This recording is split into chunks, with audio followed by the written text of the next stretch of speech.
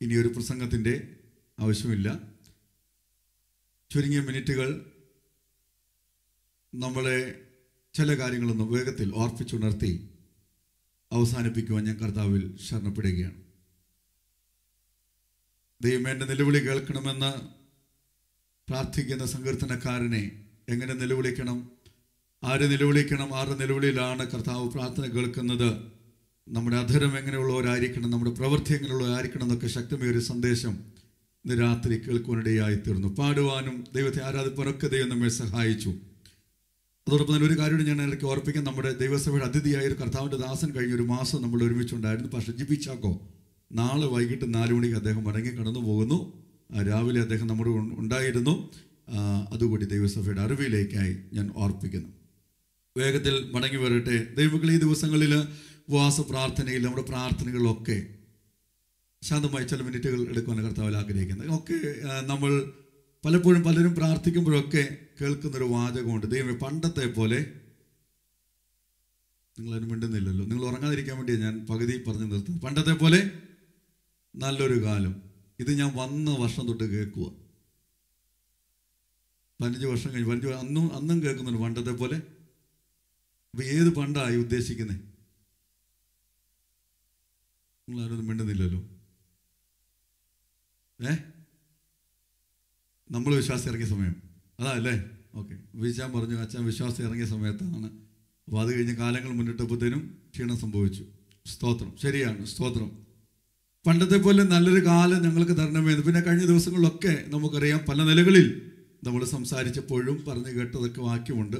എവിടെയോ നമുക്ക് പരാജയം സംഭവിച്ചിരിക്കുന്നത് നമ്മളെല്ലാം വളരെ പിറകോട്ട് പോയിരിക്കുന്നു എന്നൊക്കെ നമ്മൾ പറയുന്നുണ്ട് മടങ്ങി വരണം തിരിച്ചു വരണം എന്നൊക്കെ നമ്മൾ പറയുന്നുണ്ട്. സത്യത്തിൽ സഭ മടങ്ങി വരണം ആൾ കുടുംബങ്ങൾ മടങ്ങി വരണം എന്നൊക്കെ നമ്മൾ പറയുന്നുണ്ട്. ആരാ മടങ്ങി വരണ്ടേ? ആരാ മടങ്ങി വരണ്ടേ? ഞാനാ മടങ്ങി വരണ്ടേ?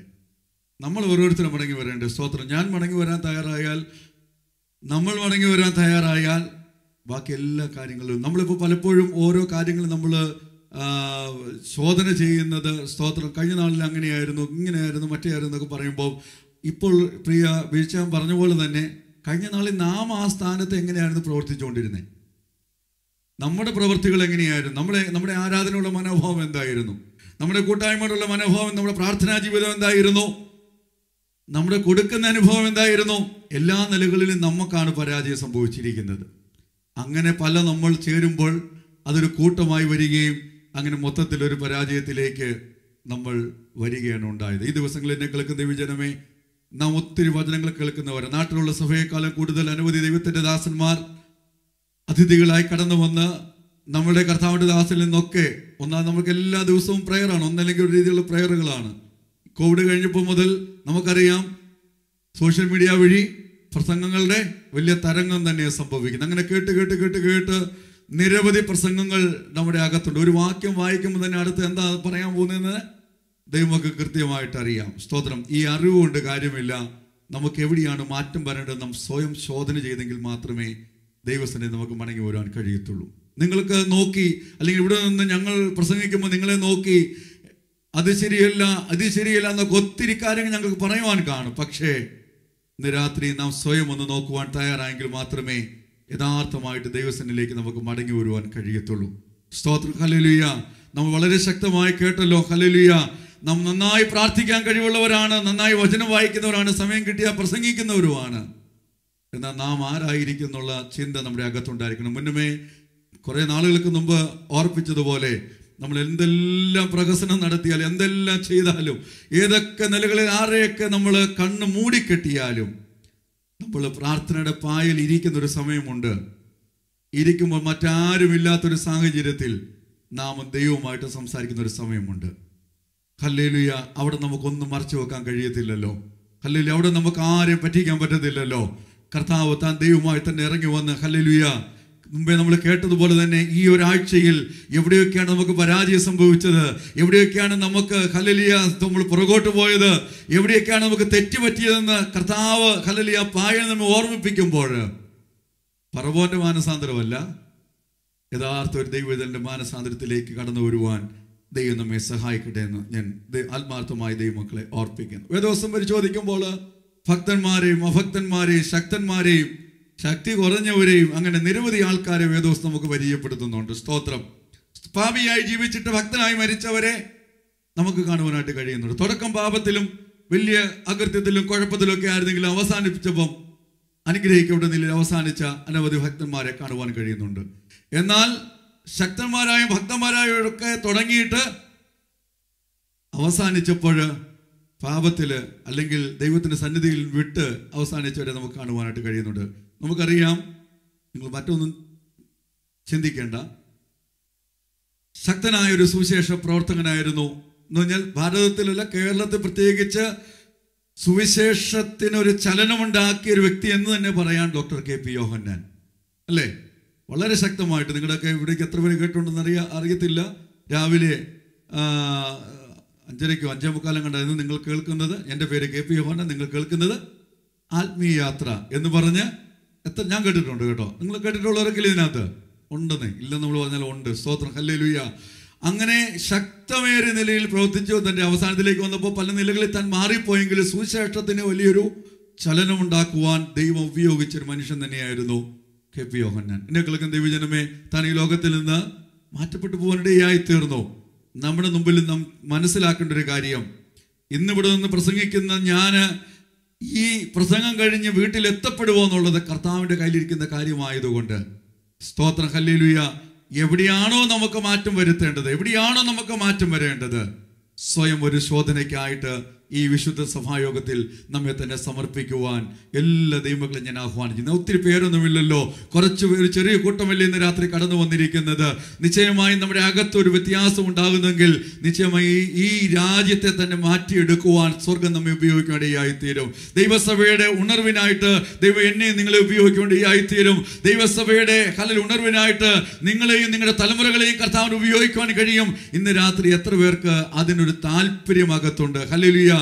കർത്താവെ ഹലോ മറ്റുള്ളവരെ ഉപയോഗിക്കണമേ മറ്റുള്ളവരെ ഉപയോഗിക്കണമേ എന്ന് പ്രാർത്ഥിക്കുന്നത് ഒന്നൊന്ന് നിർത്തിയിട്ട് പ്രാർത്ഥിക്കുന്ന നല്ലതാ കേട്ടോ പ്രാർത്ഥിച്ചോ. കർത്താവ് എന്നെ സഭയുടെ ദൈവരാജ്യത്തിന്റെ കെട്ടുപണിക്കായിട്ട് നീ ഒന്ന് കൃത്യമായി ഒന്ന് ഉപയോഗിക്കണമെന്ന് എത്ര പേര് ദൈവസന്നിധിയിൽ പ്രാർത്ഥിക്കുന്നു. ഇവിടെ ഇരിക്കുന്നവരെ ആരും യാദൃശ്യമായി കടന്നു വന്നവരൊന്നുമില്ല. എല്ലാവരെയും കർത്താവ് തന്റെ പദ്ധതി പ്രകാരം വിളിച്ചതിനകത്ത് കൊണ്ടുവന്നിരിക്കുന്നവരാ. സ്തോത്രം. നിങ്ങൾക്കെല്ലാം ഒരു ഉത്തരവാദിത്തം ദൈവം ഏൽപ്പിച്ചിട്ടുണ്ട്. പ്രത്യേകം ചില വ്യക്തികളിൽ മാത്രം അധിഷ്ഠിതമായിരിക്കുന്ന ഉത്തരവാദിത്തങ്ങളല്ല. എന്നെയും നിങ്ങളെയും കർത്താവ് ഓരോ ഉത്തരവാദിത്തം ഏൽപ്പിച്ചിട്ടുണ്ട്. ആ ഉത്തരവാദിത്ത കൃത്യതയോടെ പ്രവർത്തിപ്പാൻ ദൈവം നമ്മെ സഹായിക്കുമാറാകട്ടെ. സ്തോത്രം. ഇന്ന് രാത്രി ഞാൻ ദൈവമക്കളെ തുടർന്നുള്ള ചില മിനിറ്റുകൾ വേഗത്തിൽ ഞാൻ അവസാനിപ്പിക്കാം. ഞാൻ ഓർപ്പിക്കുവാൻ ആഗ്രഹിക്കുന്നത് ഒരു പിന്മാറ്റക്കാരനെ കുറിച്ചാണ്. സ്തോത്രം. ഒരു പിന്മാറ്റക്കാരന്റെ ജീവിതത്തെ നമ്മളൊന്ന് അല്ല പിന്മാറ്റക്കാരന്റെ ഒരു അനുഭവത്തെ വേദവസ്തുവിൽ ഒരു പിന്മാറ്റക്കാരൻ എടുക്കാനല്ല പറഞ്ഞ്? ഒരു പിന്മാറ്റക്കാരന്റെ ജീവിതത്തെ ഒന്ന് വിചിന്തനം ചെയ്തിട്ട് വേഗത്തിൽ നമുക്ക് അവസാനിപ്പിക്കാം. സ്തോത്രം. നമുക്കറിയാം ഒരു പിന്മാറ്റക്കാരനെ കുറിച്ച് നമ്മൾ പഠിക്കുമ്പോൾ പിന്മാറ്റം എന്ന് പറഞ്ഞാൽ എന്താ? പിന്മാറ്റം. ആദ്യമായിട്ട് കേൾക്കുന്നുള്ള നിങ്ങൾ ഇരിക്കുന്ന പിന്മാറ്റം.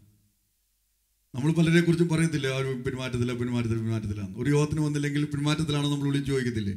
ഓ വിളിക്കൂ എവിടെ വിളിക്കാനല്ലേ സ്തോത്രം. ഹല്ലേലൂയ. പിന്മാറ്റം എന്നുള്ളത് എപ്പോഴും നമ്മൾ ഉപയോഗിക്കുന്ന ഒരു വാക്കാ അല്ലേ? പിന്മാറ്റം എന്ന് പറഞ്ഞു കഴിഞ്ഞാൽ നമ്മുടെ മനസ്സിൽ ആ വ്യക്തിയെക്കുറിച്ച് ഒരു ചിന്തയുണ്ട്. ആ ചിന്തയ്ക്ക് അനുസരിച്ച് അദ്ദേഹം പ്രവർത്തിക്കുന്നില്ലെങ്കിൽ അദ്ദേഹത്തിന് പ്രാർത്ഥനയ്ക്ക് ഇച്ചിരി അല്ലെങ്കിൽ പ്രാർത്ഥിക്കാൻ അവസരം കിട്ടുന്ന പ്രാർത്ഥിക്കുന്നില്ലെങ്കിൽ യോഗത്തിന് കാണുന്നില്ലെങ്കിൽ പല നിലകളിൽ നമ്മൾ ചിന്തിച്ചിട്ട് പറയും നീ പിന്മാറ്റത്തിൽ ആണോ? എന്ന് ചോദിക്കും. വീട്ടിൽ ചോദിക്കത്തില്ല. സ്വയം വീട്ടിൽ നമ്മൾ ചോദിക്കത്തില്ല. അങ്ങോട്ട് കൂട്ടുകാരോടൊക്കെ നമ്മൾ ചോദിക്കും. പക്ഷെ ഇന്ന് രാത്രി ഞാൻ പറയുന്നത് നാം സ്വയം ഒന്ന് ചോദിക്കണം. നീ പിന്മാറ്റത്തിലാണോ? നീ പിന്മാറ്റത്തിലാണോ? നീ പിന്മാറ്റത്തിലാണോ എന്ന് സ്വയം ഞാൻ എന്നോട് തന്നെ ഇന്ന് രാത്രി ഒന്ന് ചോദിക്കാൻ തയ്യാറാകണം. ഏതെങ്കിലും അനുഭവത്തിൽ ഞാൻ പിന്മാറ്റത്തിലേക്ക് പോയിട്ടുണ്ടോ? സ്തോത്രം. ഹല്ലേലൂയ. നമുക്കറിയാം വേദപുസ്തകം പഠിക്കുമ്പോൾ ഈ ഒരു വിഷയം പഠിക്കാൻ ഏറ്റവും ഉചിതമായ വ്യക്തി എന്ന് പറയുന്നത് ശക്തനായ അപ്പോസ്തലനായ പത്രോസ് തന്നെയാണ്. സ്തോത്ര ഹല്ലേലൂയ. താൻ പിന്മാറ്റക്കാരനൊന്നും അല്ലായിരുന്നു പിന്മാറിയ അനുഭവങ്ങൾ ജീവിതത്തിൽ ഉണ്ടായിട്ടുണ്ടായിരുന്നു. സ്തോത്ര ഹല്ലേലൂയ. തന്റെ ജീവിതം ഒരു പഠന വിധേയമാക്കിയാൽ പെട്ടെന്ന് നമുക്ക് മനസ്സിലാക്കുവാൻ കഴിയും. പിന്മാറിപ്പോള സാഹചര്യങ്ങളും മടങ്ങി വരുന്ന സാഹചര്യം നമുക്ക് കാണുവാനായിട്ട് കഴിയുന്നുണ്ട്. സ്തോത്രം. മർക്കോസ് വിഷയം പതിനാലാം അധ്യായം ചിന്തയ്ക്കായിട്ട് എല്ലായിടത്തും വായിക്കേണ്ട. ഹലലിയ നമുക്ക് കാണുവാനായിട്ട് കഴിയും. ഹലെന്നാൽ ഹലലി ഒരു വാക്യം നമുക്ക് വായിക്കണം. പത്രോസ് ഇത് രണ്ടാമത്തെ ലേഖനം രണ്ടാമത്തെ അധ്യായം അതിന്റെ ഇരുപത് ഇരുപത്തിയൊന്ന് ഇരുപത്തിരണ്ട് വാക്യങ്ങൾ. ഒന്ന് വായിച്ചാട്ടെ. പത്രോസ് രണ്ടാമത്തെ ലേഖനം രണ്ടാമത്തെ അധ്യായം ഇരുപത് ഇരുപത്തിയൊന്ന് ഇരുപത്തിരണ്ട് വാക്യങ്ങൾ.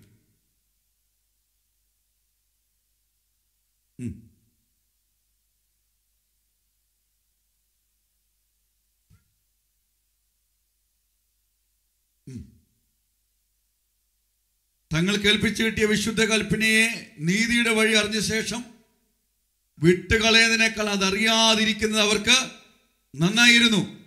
എന്നാൽ സ്വന്തം ഛർദിക്ക് തിരിഞ്ഞ നായെന്നും കുളിച്ചിട്ട് ചെളിയിൽ ഉരുളുവാൻ തിരിഞ്ഞ പന്നി എന്നുമുള്ള സത്യമായ പഴഞ്ചൊല്ല് പോലെ അവർക്ക് ഭവിച്ചു. ഈ ഒരു ഭാഗത്തിന്റെ ചരിത്രത്തിലേക്ക് പോകാൻ ആഗ്രഹിക്കുന്നില്ല. താൻ ഉദാഹരണമായി പറഞ്ഞ ഒരു കൂട്ടം ആൾക്കാരുണ്ട്. എന്ന് പറഞ്ഞാൽ അല്ലെങ്കിൽ നീതിക്ക് വേണ്ടി വിളിച്ച് ഇറക്കപ്പെട്ടവർ തിരികെ പോയ അല്ലെങ്കിൽ തിരികെ പിന്മാറ്റത്തിലേക്ക് പോയ പുറകോട്ട് പോയ അല്ലെങ്കിൽ ഒരു കൂട്ടം ആൾക്കാരെ കണ്ടുകൊണ്ട് അവരോട് അല്ലെങ്കിൽ താൻ അറിയിക്കുന്ന ഒരു വാർത്തയാണ് ലേഖനമാണ് എഴുതിയിരിക്കുന്നത്. നിങ്ങൾ മുന്നോട്ട് പോയിട്ട് നിങ്ങൾ ഇറങ്ങിയിട്ട് നിങ്ങൾ തിരിഞ്ഞു പോയാൽ നിങ്ങളുടെ അവസ്ഥ എന്ന് പറയുന്നത് വളരെ ദയനീയമാണ്. ഉദാഹരണമൊക്കെ നമുക്ക് ആവർത്തി എടുത്തു പറയാൻ പറ്റത്തില്ല. വളരെ കൃത്യമായിട്ട് താൻ പറയുന്നുണ്ട് നിങ്ങൾ ഏത് അവസ്ഥയിലാണ്? മുന്നോട്ട് ഇറങ്ങിയിട്ട് നീതിയുടെ വഴി അറിഞ്ഞിട്ട് രക്ഷയുടെ വഴി അറിഞ്ഞിട്ട് ദൈവത്തെ യഥാർത്ഥമായി തിരിച്ചറിഞ്ഞിട്ട് മനസ്സിലാക്കിയിട്ട് നിങ്ങൾ പുറകോട്ട് പോകുമ്പോൾ നാം ആരാണെന്ന്? ഞാൻ ആദ്യം പറഞ്ഞല്ലോ നീ ഒരു പിന്മാറ്റക്കാരനോ ആണോ എന്ന് ഇന്ന് രാത്രി നിങ്ങൾ വീട്ടിൽ ചെന്നിട്ട് കണ്ണാടി നോക്കിയിട്ട് സ്വയം ചോദിക്കണം. നീ ഒരു പിന്മാറ്റക്കാരനാണോ? എടാ നീ ഒരു പിന്മാറ്റക്കാരനാണോ? എന്ന് ചോദിച്ചിട്ട് ഈ വാക്യം വായിക്കണം. ആണെങ്കിൽ നമ്മുടെ അവസ്ഥ ഇതാന്നാ പരിശുദ്ധാത്മാവ് പറയുന്നത് ആണെങ്കിൽ നമ്മുടെ അവസ്ഥ ഇതാണെന്നാ ഞാൻ പറയ പരിശുദ്ധാത്മാവ് പറയുന്നത്. പിന്മാറ്റക്കാരനോടൊന്നും എങ്ങനെ തിരിച്ചറിയാനായിട്ട് കഴിയും?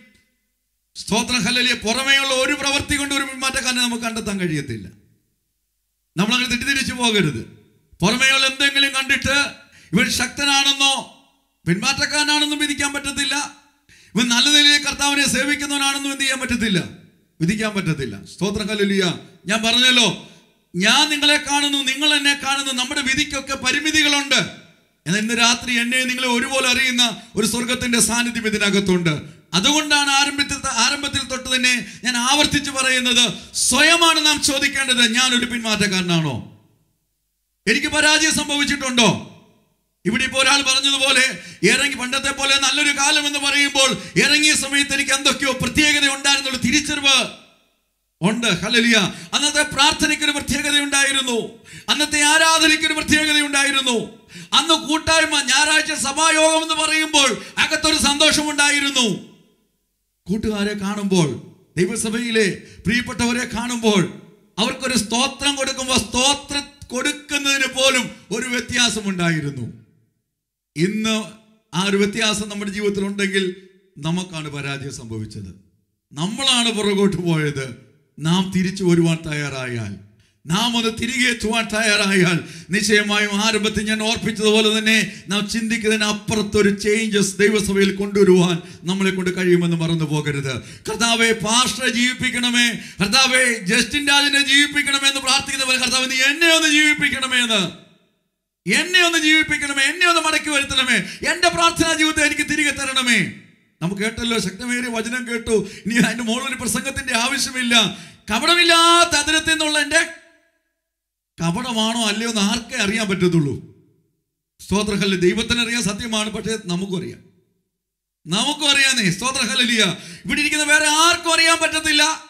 പ്രാർത്ഥന കേട്ടാൽ പറയും അയ്യോ സ്വർഗം തുറക്കുന്ന പ്രാർത്ഥന എന്ന് പറയും. പക്ഷേ കപടമാണോ നല്ല പ്രാർത്ഥനയാണോ ആത്മാവിലാണോ പ്രാർത്ഥിക്കുന്നത്. ഏത് ആത്മാവിലാണ് പ്രാർത്ഥിക്കുന്നതെന്ന് ആർക്ക് മാത്രം അറിയാൻ കഴിയത്തുള്ളൂ. പ്രാർത്ഥിക്കുന്ന വ്യക്തിക്കും ദൈവത്തിനും മാത്രമേ അറിയാൻ കഴിയത്തുള്ളൂ. അതുകൊണ്ട് സ്വയം ചില ചോദ്യങ്ങൾ. നാം ഒത്തിരി ഇന്നത്തെ തലമുറയുടെ പ്രത്യേകത ചോദ്യം ചോദിക്കുന്നവരാ. ചോദ്യം ചോദിക്കുന്നവരാ അല്ലെ? എന്തിനും ചോദ്യങ്ങൾ ചോദിക്കുന്നവരാ. സ്വയം ചോദ്യങ്ങളൊന്ന് ചോദിക്കുവാൻ നാം നമ്മെ തന്നെ ഒന്ന് തയ്യാറായാൽ എത്ര നല്ലതായിരിക്കും. നമ്മുടെ ആത്മീയ ജീവിതത്തിന് അത് അനുഗ്രഹമായി ഭവിക്കേണ്ടി വരും. ദൈവമക്കളെ പിന്മാറ്റത്തിന്റെ ഒന്നാമത്തെ പടി എന്ന് പറയുന്നത് ഒന്നാമത്തെ ലക്ഷണം എന്ന് പറയുന്നത് മറ്റൊന്നുമല്ല അഹങ്കാരമാണ്. സ്തോത്രം. അഹങ്കാരമാണ്. ഇപ്പൊ നമുക്ക് മനസ്സിലായല്ലോ നമ്മൾ ആരും പിന്മാറ്റക്കാരല്ല. കാരണം നമുക്ക് എന്തില്ല നിങ്ങൾ മിണ്ടുന്നില്ലല്ലോ. നമുക്ക് എന്തില്ല നമുക്ക് അഹങ്കാരമില്ല. സ്തോത്രം. കല്ലില്ല അപ്പൊ നമ്മൾ ആരും ആരല്ല? ആ ഒന്നാമത്തെ പോയിന്റിൽ നമ്മൾ ആരുമില്ല നമ്മൾ ആരും പിന്മാറ്റക്കാരല്ല. നമുക്കാർക്ക് അഹങ്കാരമില്ല. നമ്മൾ പത്രോസിനോട് താരതമ്യപ്പെടുത്തിയാണല്ലോ നമ്മൾ പഠിക്കുന്നത്. മർക്കോസിന്റെ പതിനാലാം അദ്ദേഹത്തെ കടന്നു വരുമ്പോൾ ചരിത്രം നിങ്ങൾക്ക് നന്നായിട്ട് അറിയാമല്ലോ. ഇരുപത്തിയേഴ് തൊട്ട് വാക്യങ്ങൾ വായിക്കുമ്പോൾ കാണുവാൻ കഴിയുന്നുണ്ട്. ഹല്ലേലുയ. കർത്താവ്. ഹല്ലേലൂയ. ഒലിമലയിൽ വെച്ച് തന്നെ അന്ത്യത്തായ ശേഷമുള്ള ഹല്ലലിയ തന്റെ സംസാരത്തിൽ തന്റെ ശിഷ്യന്മാരോട് ഹല്ലലിയ താൻ പറയുന്നുണ്ട്. ഹല്ലലി ഇടയനെ. വെട്ടും. സ്തോത്ര ഹല്ലേലൂയ ആടുകൾ എന്ത് ചെയ്യും? ചിതറിപ്പോകും. ആരാ പറയുന്നേ? നിങ്ങൾ കൊണ്ട് ഞാൻ പറയിപ്പിക്കും. ആരാ പറയുന്നേ? കർത്താവാണ് പറയുന്നത്. പക്ഷേ താഴോട്ടുള്ള വാക്യങ്ങളിൽ വായിക്കണം. ഹലലിയ എന്ന് എഴുതിയിരിക്കുന്നുവല്ലോ. ദൈവവചനത്തിൽ നിവൃത്തിയാകും എന്ന് പറയുമ്പോൾ സ്തോത്ര ഹലലിയ അടുത്ത വാക്യങ്ങൾ. അടുത്ത വാക്യം കാണിച്ച് ഇരുപത്തിയെട്ട്. അടുത്ത വാക്യം കാണുന്നു. ആ അടുത്ത വാക്യം. ഇരുപത്തൊമ്പത്. കർത്താവ് ഇത് പറഞ്ഞിട്ട് കർത്താവ് ഒരു ഈ ഒരു കാര്യം ഹല്ല ഓർപ്പിച്ചിട്ട് നിൽക്കുമ്പോൾ പത്രോസ് വേറെ ആരും മിണ്ടി ഒന്നും മിണ്ടിയില്ല. മിണ്ടിതായിട്ട് വ്യവസ്ഥ കാണുന്നില്ല. പത്രോസ് അവനോട് എല്ലാവരും ഇടറിയാലും അതിനകത്ത് എന്തെങ്കിലും ഒരു അഹങ്കാരം നിങ്ങൾക്ക് ഫീൽ ചെയ്യുന്നുണ്ടോ? സ്തോത്ര ഹല്ലേലൂയ. അഹങ്കാരം എന്ന് ഞാൻ എന്റെ ഒരു ചിന്തയിൽ അങ്ങ് പറഞ്ഞോളൂ നിങ്ങൾ വേണമെങ്കിൽ എടുത്താൽ മതി. സ്തോത്രം. എന്താണെങ്കിലും മറ്റുള്ളവരെക്കാൾ താൻ ശ്രേഷ്ഠന. മറ്റുള്ളവരെക്കാൾ ഒരു അല്പം കൂടി ഞാൻ കേമനാണെന്നൊരു ചിന്ത അതിനകത്തുണ്ട്. എന്ന് പറഞ്ഞാൽ ഈ നിൽക്കുന്നത് എല്ലാം ഇടരാൻ സാധ്യതയുണ്ട്. അവരെല്ലാം ഇടറിയാലും ഞാൻ ഇടറത്തില്ല. സ്തോത്രം. ഹല്ലേലൂയ. ഞാൻ ഇടറത്തില്ല എന്ന് ആര് പറയുകയാണ്? പിന്നെ കുറച്ചുകൂടെ ആഴത്തിൽ ഇറങ്ങി ഹല്ലേലൂയ. അടുത്തൊരു വാക്യത്തിൽ വായിക്കുമ്പോൾ നിന്നോടുകൂടെ മരിക്കേണ്ടി വന്നാലും ഞാൻ നിന്നെ തള്ളി പറയത്തില്ലെന്ന് പറഞ്ഞു. അപ്പൊ അതിനകത്ത് ഇച്ചിരി ഉണ്ട് അല്ലേ? സ്തോത്രം. ഹല്ലേലൂയ. ഒന്ന് ഈ നിൽക്കുന്ന എല്ലാവരും ഇടറിയാലും ഞാൻ പുറകോട്ട് പോകത്തില്ലെന്ന് പറഞ്ഞു തള്ളി പറയത്തില്ലെന്ന് പറഞ്ഞു. ഇനി മരിക്കാൻ ഒരു അവസരം ഉണ്ടായി ഞാൻ മരിക്കേണ്ടി വന്നാലും ഞാൻ ഒരിക്കലും നിന്നെ തള്ളി പറയത്തില്ല എന്ന് പറഞ്ഞു. സ്തോത്രം. എന്നെ കേൾക്കുന്ന ദൈവജനമേ എന്താണ് സംഭവിച്ചത് നമുക്ക് നന്നായിട്ട് അറിയാം. ഹല്ലേലൂയ. സ്തോത്രം ഇത് തിരിച്ചറിഞ്ഞ പത്രോസ് താൻ ലേഖനം എഴുതുമ്പോൾ അഞ്ചാം അധ്യായത്തിൽ ഇങ്ങനെ എഴുതി വെച്ചു. ഹല്ലേലൂയ താണിരിപ്പിൻ. സ്തോത്രം ഹല്ലേലൂയ. താണിരിപ്പിൻ. എന്നെ കേൾക്കുന്ന ദൈവജനമേ പത്രോസിന് ചില പ്രത്യേകതകളുണ്ട് കേട്ടോ. ഹല്ലേലൂയ ആദ്യം ഹല്ലേലൂയ ആദ്യം തിരഞ്ഞെടുത്തവർ ഉൾപ്പെട്ട ശിക്ഷനാണ്. കർത്താവിന്റെ ആ പ്രധാനപ്പെട്ട മൂന്ന് പേരിൽ എണ്ണം പറഞ്ഞ ശിക്ഷനൊക്കെയാണ്. ഹല്ലേലൂയ കുറച്ച് പ്രത്യേകതയൊക്കെ പത്രോസിനുണ്ട്. കാരണം കർത്താവുമായിട്ട് ചില അടുത്ത ഇടപാടുകളൊക്കെ പത്രോസിനുണ്ട്. പക്ഷേ ഹല്ലേലൂയ നീ പുറകോട്ട് പോകുവാൻ സാധ്യതയുണ്ടെന്നുള്ള കാര്യം ഇന്ന് പകലിൽ ഇന്ന് രാത്രി ഇതേ മക്കൾ വിസ്മരിച്ചു പോകരുത്. എത്ര ശ്രേഷ്ഠനാണെങ്കിലും എത്ര ഹലലിയ അടുത്തിരിക്കുന്ന വ്യക്തിയാണെങ്കിലും ഹലലിയ നമുക്ക് നമ്മെ കുറിച്ചുള്ള ചിന്ത പോലെ ഹല്ലേലൂയ ആരൊക്കെ ഇടരത്തില്ല ഞാൻ ഹലലിയ ഇറങ്ങി തിരിച്ചത് അനുഭവത്തിൽ കൂടിയ. എനിക്കൊരു ഉത്തമ സാക്ഷ്യമുണ്ട്. ദൈവം എന്നെ പിടിപ്പിച്ചതല്ലേ എനിക്ക് അങ്ങനെ പുറകോട്ട് പോകാൻ പറ്റുമോ എന്നൊക്കെ നമ്മൾ ആവേശം കൊള്ളും. പക്ഷേ ആവേശം മാത്രമേ ഉള്ളൂ. ജീവിതത്തിൽ സാഹചര്യങ്ങൾ പ്രതികൂലമായി വരുമ്പോൾ പത്രോസിനേക്കാളും കഷ്ടമായിട്ട് നമ്മൾ പറഞ്ഞു കളയും.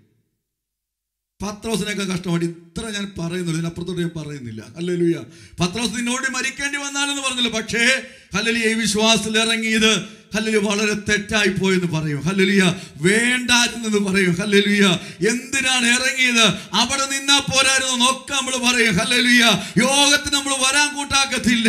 അല്ലെങ്കിൽ എല്ലാം നമ്മുടെ പ്രാർത്ഥനാ ജീവിതം നമ്മൾ നശിപ്പിക്കും. ഹല്ലേലൂയ വേദപുസ്തകം നമ്മൾ വായിക്കത്തില്ല സ്തോത്രങ്ങൾ എല്ലാറ്റിനും നമ്മൾ പുറകോട്ട് പോകും. ഇന്ന് രാത്രി ഈ അനുഭവത്തിൽ ആരെങ്കിലും ദൈവശബ്ദം കേൾക്കുന്നെങ്കിൽ നിശ്ചയമായും ദൈവത്തിലേക്ക് മടങ്ങി വരുവാൻ ദൈവത്തിന്റെ പരിശുദ്ധാത്മ ഞാൻ ഓർമ്മിപ്പിക്കുന്നു. പ്രിയ സഹോദര സഹോദരി നീ മടങ്ങി വരുവാൻ തയ്യാറായാൽ അത് ദൈവസഭയുടെ ഒരു അനുഗ്രഹത്തിന് ഉണർവിനത് കാരണമായി ഭവിക്കേണ്ടി വരും. താണിരിപ്പിൻ. സ്തോത്ര. ഹല്ലേലൂയ.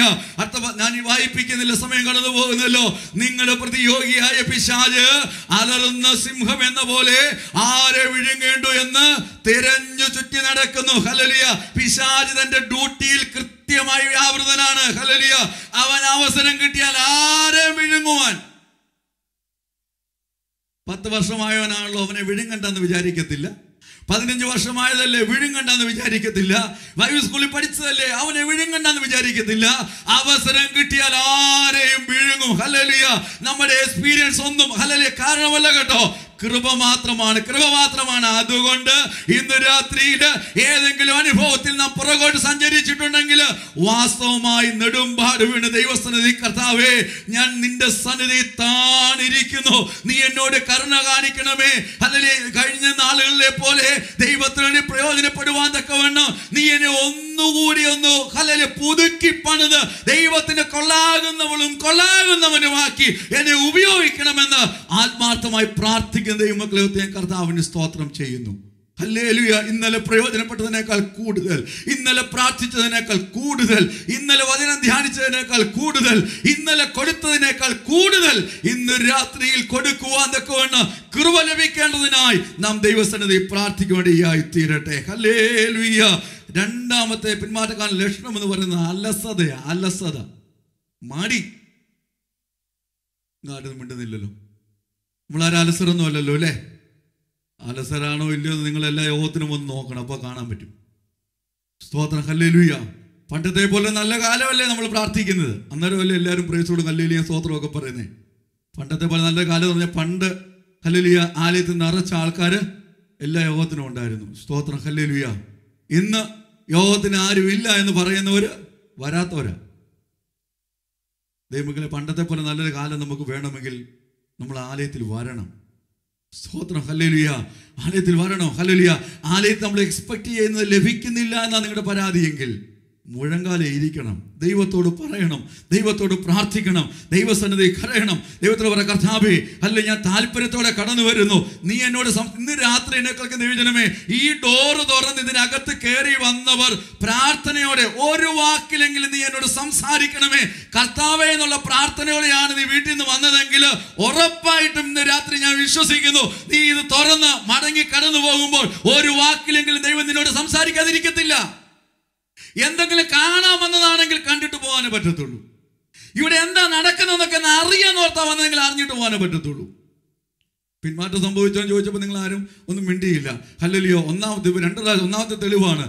കർത്താദാസൻ പ്രാർത്ഥനയ്ക്ക് ആഹ്വാനം ചെയ്താൽ എന്റെ ഓർമ്മയിലുണ്ടോ എന്റെ ഓർമ്മയിലുണ്ട്.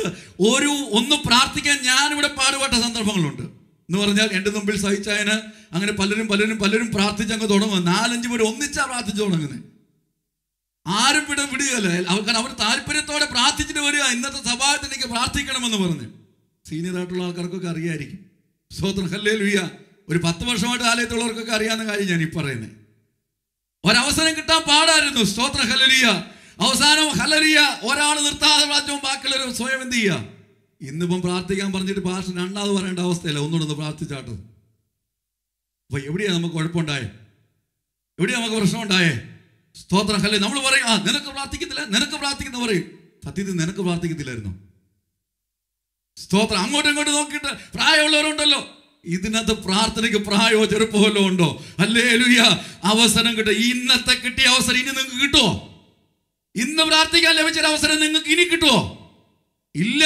കിട്ടത്തില്ല. ഇത് എവിടെ നിങ്ങൾ കടന്നു വന്നിരിക്കുന്നത്? ദൈവത്തിന്റെ സാന്നിധ്യത്തിലല്ലേ കടന്നു വന്നിരിക്കുന്നത്? ഇവിടെ ആരുണ്ടെങ്കിലും ആരില്ലെങ്കിലും കർത്താവിന്റെ സാന്നിധ്യം ഇതിനകത്ത് ഇറങ്ങി വന്നിട്ടില്ലേ? ഒരു വാക്ക് പ്രാർത്ഥിക്കാൻ ആഹ്വാനം കിട്ടിയിട്ട് വായടച്ച് നാം ഇരുന്നെങ്കിൽ നാം എത്രമാത്രം പിന്മാറ്റത്തിലാണ് ഇന്ന് രാത്രി തിരിച്ചറിഞ്ഞോണം. തിരിച്ചറിഞ്ഞോണം സ്തോത്രം. ഹല്ലേലൂയ.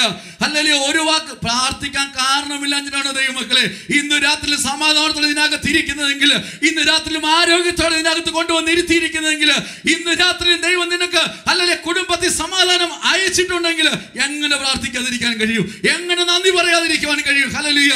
ഇന്നലെ അനുഭവത്തിന് കർത്താവ് മാറ്റം വരുത്തിയിട്ടുണ്ടെങ്കിൽ നമുക്ക് സ്തോത്രം ചെയ്തിരിക്കാൻ കഴിയത്തില്ലല്ലോ. അതിന് ആരുടെയും പ്രേരണ ആവശ്യമുണ്ടോ? അതിന് ആരെങ്കിലും ഉത്സാഹിപ്പിക്കേണ്ടത് ആവശ്യമുണ്ടോ? ഒന്നുമില്ല കേട്ടോ. ഹല്ലേലൂയ. ഇന്ന് രാത്രി സ്വയം ഒരു തിരിച്ചറിവിലേക്ക് നമുക്ക് നമ്മെ തന്നെ സമർപ്പിക്കേണ്ടിയായി തീരട്ടെ. അലസതയാണ് രണ്ടാമത്തെ കാര്യം. സമയം കടന്നു പോകുന്നത് അലസത. സ്തോത്ര. ഹല്ലേലൂയ. എല്ലാത്തിനും നമുക്ക് അലസത. സ്തോത്ര. ഹല്ലേലൂയ. കർത്താവിന്റെ ഗത്സമന ഹല്ലേലൂയ. ആ പ്രാർത്ഥനാ വേളയിൽ കർത്താവ് പറയുന്നത് ഇനി വായിക്കണ്ട കേട്ടോ. പതിനാലാം അദ്ദേഹം തന്നെയാണ്.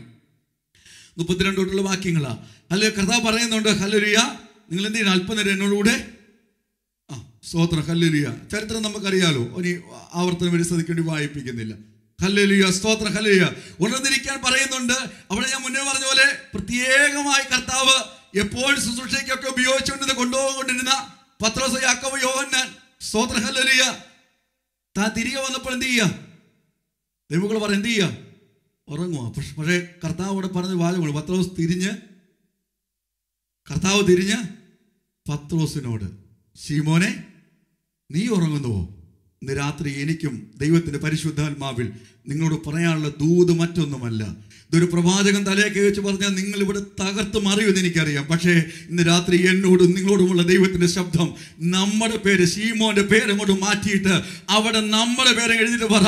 അല്ലെങ്കിൽ ആരൊക്കെ ഉറങ്ങിയാലും പ്രിയ ദൈവത്തിലെ നിനക്ക് ഉറങ്ങാൻ കഴിയുമോ? നീ പ്രാപിച്ചതുപോലെ ആരെങ്കിലും പ്രാപിച്ചിട്ടുണ്ടോ? അല്ലെ നീ അനുഭവിച്ചതുപോലെ ദൈവത്തെങ്കിലും നന്മ അനുഭവിച്ച ആരെങ്കിലും ഇതിനകത്ത് ഇരിപ്പുണ്ടോ അല്ലെ നിന്റെ എക്സ്പീരിയൻസ് പറയാൻ പറ്റുന്ന വേറെ ആരെങ്കിലും ഇതിനകത്തുണ്ടോ? അല്ലേ ആ ഒരു കരഞ്ഞില്ലെങ്കിലും നിനക്ക് കരയാതിരിക്കുവാൻ കഴിയുമോ? ആര് സ്തുതിച്ചില്ലെങ്കിൽ നിനക്ക് സ്തുതിക്കാതിരിക്കുവാൻ കഴിയുമോ? അല്ലേ കാരണം നിന്റെ കർത്താവ് വെട്ടിയെടുത്ത അനുഭവങ്ങളെ ഓർത്തു കഴിഞ്ഞാൽ നിന്നെ കർത്താവ് നിർത്തിയ അനുഭവങ്ങളെ ഓർത്തു കഴിഞ്ഞാൽ ഇന്ന് രാത്രി നിനക്ക് മൗനമായിരിക്കുവാൻ കഴിയത്തില്ല. ഇതാണ് ചോദ്യം. ഹലലിയ നമ്മുടെ ജീവിതത്തിൽ അലസത സംഭവിച്ചിട്ടുണ്ടോ? ആരാധന അലസത സംഭവിച്ചിട്ടുണ്ടോ? പ്രാർത്ഥനയിൽ അലസത സംഭവിച്ചിട്ടുണ്ടോ? ഏതെങ്കിലും ആത്മീയ അനുഭവങ്ങളിൽ നമ്മൾ അലസരായി തീർന്നിട്ടുണ്ടോ? ഹല്ലേലൂയ. കർത്താവ് ആവശ്യപ്പെട്ടതല്ലേ നിങ്ങൾ എന്നോടുകൂടെ ഉണർന്നിരുന്ന് പ്രാർത്ഥിക്കുവാൻ? സ്തോത്രം. ഹല്ലേലൂയ. ഹല്ലേലൂയ. സ്തോത്രം. പത്രോസിന് അത് സംഭവിച്ചെങ്കിൽ. പത്രോസിന് അത് സംഭവിച്ചെങ്കിൽ എന്തുകൊണ്ടാണെന്നറിയോ? ഇന്നത്തെ അന്ന് താൻ ശരീരത്തിൽ ക്ഷീണിതനായിട്ട് ഉറങ്ങിപ്പോയതാ. ഇന്നെന്തുകൊണ്ട് ഉറക്കം വരുന്നറിയാമോ? എന്തുകൊണ്ട് ഉറക്കം വരുന്നേ? കഴിഞ്ഞ ദിവസം ഈ ഈ കഴിഞ്ഞ ഒന്ന് രണ്ട് മാസങ്ങൾക്കുള്ളിൽ ഒരാൾ ഏതോ ഒരു ദേവദാസൻ ദേവദാസനാണോ പാർഷനാണോ അറിയത്തില്ല. ചർച്ചിൽ പറഞ്ഞു. അല്ല വന്ന അതിഥേവ കർത്താവ് ദാസനാന്ന് തോന്നുന്നു. സ്തോത്രം. അല്ലേ അദ്ദേഹം പറഞ്ഞൊരു വാചകം ഞാൻ ഇന്ന് നോട്ട് ചെയ്ത് ഇങ്ങനെയാണ്. സ്തോത്രം. പത്തിരുപത്തി അയ്യായിരം രൂപയുടെ ബെഡ് വീട്ടിൽ മേടിച്ചിട്ടിട്ട് അല്ലേ? ആരോ ഒരാൾ പറഞ്ഞു മേടിച്ചിട്ടിട്ട് അതേ കിടന്നിട്ട് എന്ത് ചെയ്യുന്നില്ല? ഉറക്കം വരുന്നില്ല. അത് മേടിച്ചിട്ടിട്ട് ഇവിടെ വന്ന് മുന്നൂറ് രൂപയുടെ കസരയിരുന്ന് സുഖമായിട്ട് സ്തോത്രം. എന്റെ കേൾക്കുന്ന ദൈവജനമേ ശരീരത്തിലെ ഉറക്കമല്ല ഞാൻ ഈ പറഞ്ഞത്. ശരീരത്തിലൊക്കെ നിങ്ങൾക്ക് ചിലപ്പോൾ ശാരീരികമായ ക്ലേശങ്ങൾ കാണാം രോഗം കാണാം എന്നാൽ ഉറങ്ങല്ലേ കേട്ടോ? ഇതൊക്കെ കാണാം. പക്ഷേ അകത്തുറക്കം സംഭവിച്ചിട്ടുണ്ടോ? ഉറങ്ങിപ്പോയിട്ടുണ്ടോ? നമ്മൾ ഉറങ്ങിയിരിക്കുന്നവരാണോ? എന്താ കാണാനറിയാവോ നിങ്ങൾ എന്ത് ഉറങ്ങാൻ കാരണറിയോ നിങ്ങളുടെ ഹൃദയം അതിഭക്ഷണത്താലും ഞാൻ ഈ ബാക്കി പറയുന്നില്ല. സ്തോത്രം ഹല്ലേ ലുയ്യ സഭായോഗങ്ങളെ കർത്താവിന്റെ ഇറങ്ങി വരുന്ന ദൈവം ഇറങ്ങി വരുന്ന അനുഭവങ്ങളായി തിരിച്ചറിഞ്ഞ് അത് ആത്മാവിലും ശരീരത്തിലും അനുഭവിച്ച് മടങ്ങിപ്പോകുവാൻ തക്ക വേണം നമ്മുടെ ശരീരം കൊണ്ട് നാം കർത്താവിന് സ്തോത്രം ചെയ്യുന്നവരായി തീരണം ഹല്ലേലൂയ. അലസത തന്റെ ജീവിതത്തിൽ സംഭവിക്കേണ്ടതായി തീർന്നു സ്തോത്രം. ഹല്ലേലൂയ. മൂന്നാമത്തെ കാര്യം ഹല്ലേലൂയ ധൈര്യമില്ലായ്മ. ആദ്യം തുടക്കത്തിൽ താൻ പറഞ്ഞതെന്നറിയോ നിന്നോട് മരിക്കേണ്ടി വന്നാലും ഞാൻ റെഡിയാന്ന് പറഞ്ഞത് എന്താ പറയുക നമ്മളിങ്ങനെ വായിക്കുന്ന പതിനാലാം അധ്യായം മർക്കോസ് പതിനാല് അമ്പത്തിനാല് തന്നെ തിരിച്ചറിയാതിരിക്കാൻ പത്രോസ് എന്ത് ചെയ്തു? ദൂരെ മാറി. അവനെ ദൂരവേ അനുഗമിച്ചു. ദൂരെ മാറി അടുത്തെങ്ങാനും ചെന്ന് കഴിഞ്ഞാൽ തിരിച്ചറിഞ്ഞെങ്കിലോ? സ്തോത്രം ഹലലിയ അവിടെ തന്നെ നമുക്ക് കാണുവാണ്ട് കഴിയുന്നുണ്ട്. സ്തോത്രം ഹലലിയ ദൈവമക്കളെ ഹലലിയ ലോ- എന്തുകൊണ്ട് ദൂരമേ ദൂരെ മാറി അവൻ തീ കാഞ്ഞുകൊണ്ടിരുന്ന പറഞ്ഞു? സ്തോത്രം. ലോകത്തിന്റെ ചൂട് ഇഷ്ടപ്പെട്ടു പോയാൽ ദൈവത്തിനടുക്കിലേക്ക് നമുക്ക് എത്തപ്പെടാൻ പറ്റത്തില്ല. അതിനകത്ത് നമ്മൾ ഇരിക്കും.